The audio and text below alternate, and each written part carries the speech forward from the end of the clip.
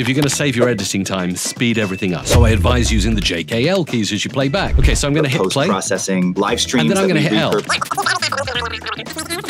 It's just Chipmunk. It's nothing else but Chipmunk. How am I supposed to understand and edit that? Well, now, the second new feature is that you can change the variation of how much that increase or decrease in speed happens. And you can do this by going into Audition Preferences, which you'll find right here under Settings in the Mac, or Control or Command and Comma will get you there as well. And look for playback and recording here. And now you've got JKL shuttle speed. But now we can go up in 0.1 of a speed or half a speed, which is super handy for podcast editing. Let's show the 0.1. Let's click OK. Let's play back and start hitting the L key to speed up. again, sort of post processing. Oh, that's helpful. Live streams that we repurpose, and you know all Oh, that helpful. to the various channels. Um, yeah, it's it's used for every facet of any kind of audio. I'd advise 0.1 or 0.5. That is a setting you should change straight away.